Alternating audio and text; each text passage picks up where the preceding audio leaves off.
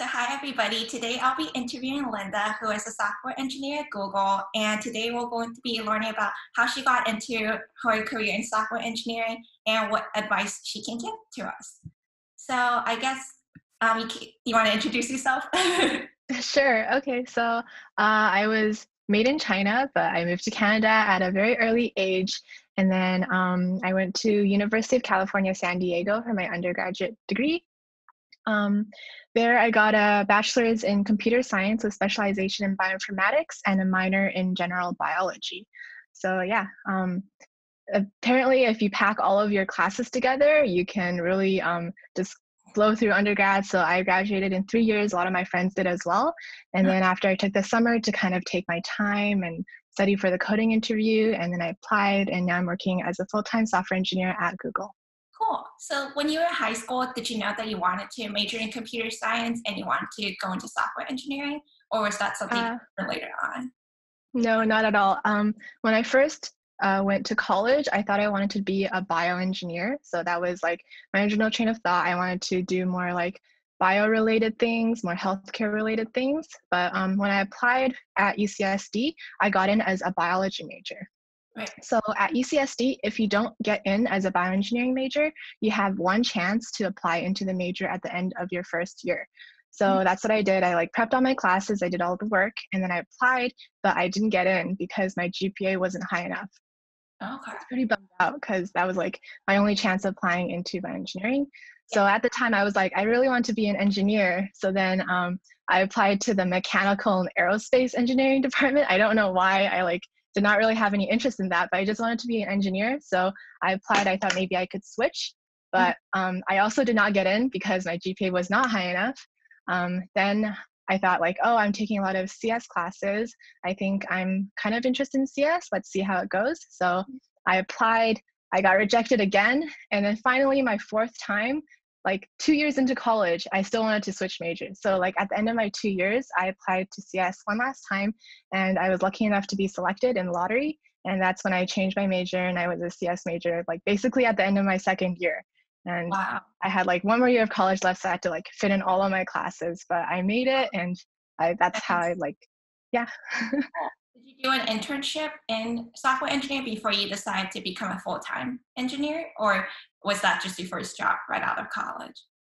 Yeah, um, I was actually pretty set on being bioengineering. So during my two summers of undergrad, I was working in a bioengineering lab where yeah. they did a lot of like tissue engineering, um, 3D printed tissue models. So that was what I was doing research in a lot during the summers. I don't actually have any software engineering internship experience, oh. which is pretty crazy because I graduated and I was like, I have no software engineering experience. Who's going to take me? But um, turns out if you just. Hmm? Oh, sorry. I was going to ask, so how did you make the switch that you were interested from biomedical engineering to computer science and software engineering instead, like after graduation? Um, I think um, after graduating, I was kind of in the state of like, I don't really know what I want to do. Like, do I want to go pure tech? Do I want to go biotech? Like, I knew I wanted to do software of some sort, but I didn't know like which um, exact industry I wanted to go into. But I think I just applied to as many places as I could. And um, it just happened that all of the places that accepted me for an interview were all like pretty strict tech because it's kind of hard. There's not many biotech companies out there.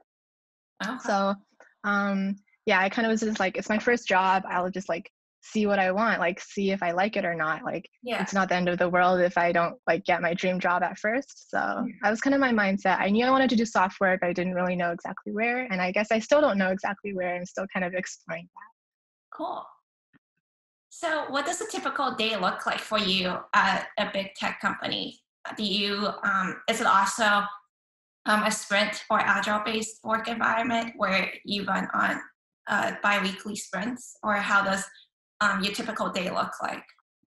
Hmm, so it's like um, i would say that working in the office and working from home are very different. So um, in the office my typical day would be i wake up and i drive to work. I arrive at about 9 30 10 a.m it's kind of late but um, then I grab a coffee, I go into my first meeting. So we have some, it's usually an engineering stand up. So those meetings are like everyone kind of stands up together and we go over what we've done and what we plan to do. Okay. All the engineers.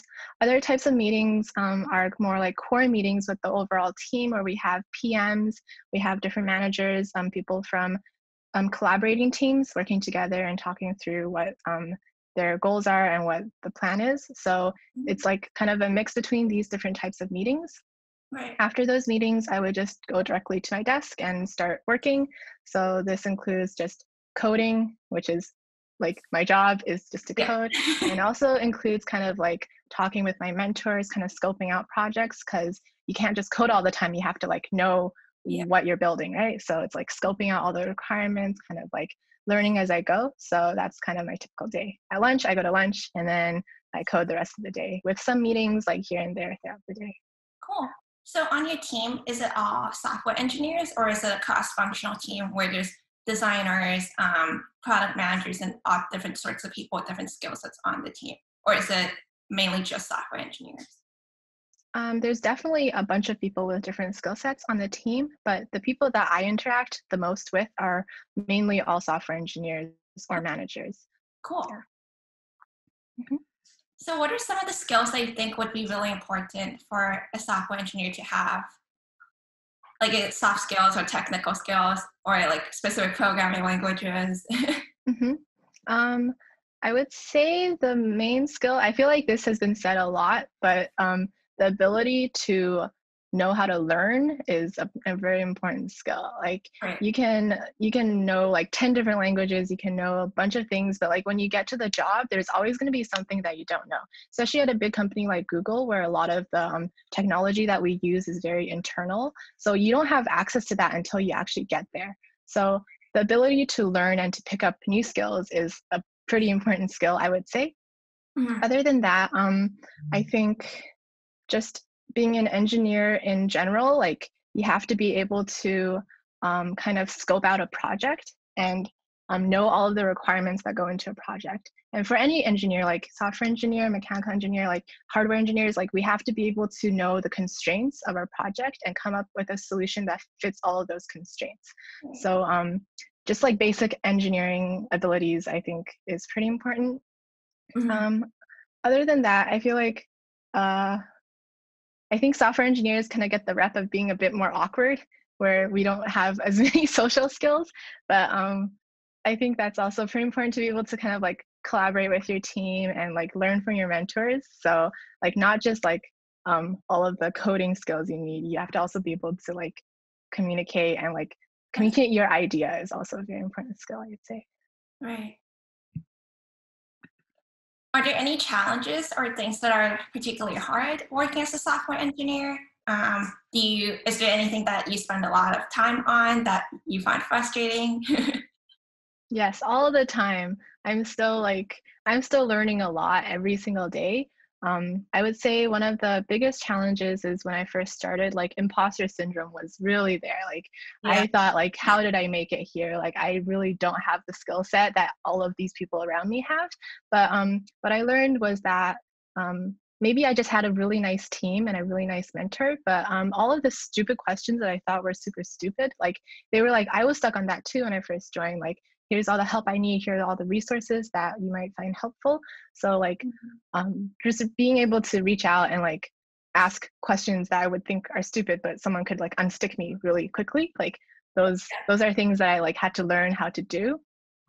Um, in terms of working, I think like on my team, it's also like I'm literally the only female software engineer. We have a team of like over 10 people. I'm the only girl. So that hasn't really been a challenge, but it's been something that I've like noticed um, in my everyday like meetings. Um, but for me, I don't think it's really made that much of a difference. Like everyone's been super nice. We're all really focused on work and um, all of the questions that I ask, like everyone is like, um, they have, they're really brilliant people, like the people I work with. So I'm like really lucky to have, to have the opportunity to learn from people like them. Yeah, that's so true. I also struggle with imposter syndrome a lot, like especially when you're starting out. Um, Mhm. I've during my internships, I'm lucky enough to have good mentors and also like what you said, coworkers that were readily able to help you whenever you had the question. Nobody was like, "Oh, that's such a dumb question." Nobody was like that. But sometimes, like once in a while, like especially online. I find online is where all those gatekeepers or like those programmer police live. And then when you sometimes when you post questions, you get like a lot of hate or like, oh, this is such a dumb programming question, or like you can only code hello world. And it's like the only test you can pass is true expect true. And I'm like, okay. Yeah, I feel like that doesn't exist in real life when you're in industry. Like everyone's really Yeah. nice. Yeah. That's the thing. Like I find like online, that's what that all happens, and it could sometimes deter people because as a beginner starting out, you could be like, "Oh no, are other people like this?" but Mhm. yeah, at work, I haven't really had anything like that. It's just like Mhm. sometimes you get those weird people who are like just hiding online, like writing me messages when you try to Mhm. ask them something. Yeah. Yeah, for sure. Um, so do you think there are any growth opportunities for people trying to enter software engineering? Or what are some of the things that um, happen when a software engineer say is five years into the job? Do they become senior software engineers typically or what kind of happens? Um, I think it's different for every person and every company, but basically what was explained to me was that um, I'm a I'm the entry level software engineer. So um, I as I go along my career path, I basically have two branches that I can go to. So one of them is more of the manager path. So this includes this is kind of like becoming what my manager is to me. So someone who manages a bunch of software engineers or um, individual contributors, and their job is basically not to code, but to scope out the project, to assign work, to delegate, and to really like um, determine what is important for the overall project. Like where do we want to build towards? What features do we want? So um, and also managing like uh, people and making sure that they feel good, that they feel like they're contributing, that they are growing. So this is one path that I could potentially take is the more manageable path. The other path is uh, more of an individual contributor. So this is someone who still wants to code, still wants to be very technically active in the um, project, and someone who is an individual contributor. So they're someone who has a lot of experience um, because they've been in the industry for so long. So I think that pretty much is pretty accurate for software engineers. Like you can either go down the manager path or you can like continue being an individual contributor. okay nice Yeah. I'm not sure. Do you have similar um, thoughts on that? for growth opportunities yeah i think something similar to that the ones that i've seen from people who mentored me it's like either senior engineer like they continue going down technical path or become a manager but there's also i think different types of managers is it like um, i think some of my managers i had were more engineering managers so they were also into the technical work like sometimes they code too and then there's also product managers who focus more on the business side and they don't do coding. So I guess a variety of that. Mhm. So do you have any advice for people who maybe wanting to go into software engineering, maybe as a student or um, somebody who is considering going down that path? Any resources or um, things that they should take a look at? I'd say just go for it. Like you can think about it all you want, but like at the end of the day, you have to put in the work, especially for those coding interviews. Those are tough. But um, luckily for us, we have all the resources available to us. I recommend a book called Cracking the Coding Interview. I feel like everyone's heard of it. It's a really solid book. Um, for me, what I did was I went through all of the questions three times before all of my interviews. So I basically memorized everything. I did a bunch of LeetCode questions, which is just like a nice way to kind of like get your brain working of like coding in Python. So LeetCode is another one where you can like it's like very simple like small programming questions that test your knowledge. And another uh, another website that I found was really helpful to me in the process was this website called Pramp, P-R-A-M-P dot com. So that's when you go online and you're matched with a random stranger, and then you ask them a coding interview question, they ask you a coding interview question, and so it's a very like it kind of mimics what you would expect from an actual online coding interview where you have to talk through your code and like come up with a solution within half an hour. So Oh. i felt like that was a really good way of getting me into like the space and the mindset of like having to talk through my code and code online and talk to someone as i'm doing it. So um, Nice. review your data structures. Make sure you're solid on one language um, whether that be python c++ java anything um, yeah and my other advice is just like just to go for it like you never know what you're gonna get. I never knew what I was gonna get, so um, you just have to go for it. Yeah. That's solid advice. Yeah.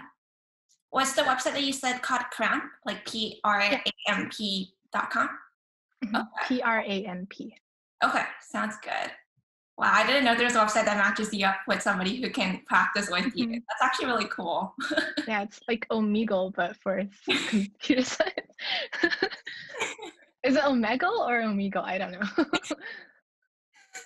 well, that's a pretty good concept. Uh, well, thank you so much for doing this with us. This was really helpful, and I think a lot of people also you. find this helpful. I had a lot of fun.